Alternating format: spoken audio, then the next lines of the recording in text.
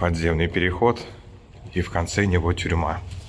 Ну, ребят, мы приближаемся к замечательному месту.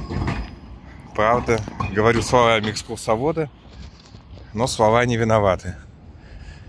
Я хозяин слов, друзья мои. И ты тоже, друг мой, хозяин слов. Мы хозяева слов.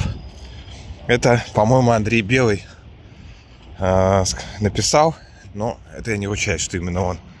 Что язык, его нужно прогибать, экспериментировать. Лепить из него вообще во все стороны, в какие только возможно.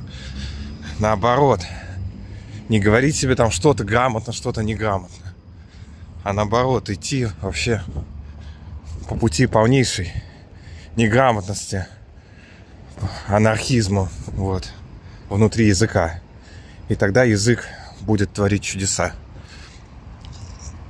Ну вот, это памятник Андрею Рублеву перед Андрониковым монастырем. А он у нас впереди. Сейчас мы туда зайдем.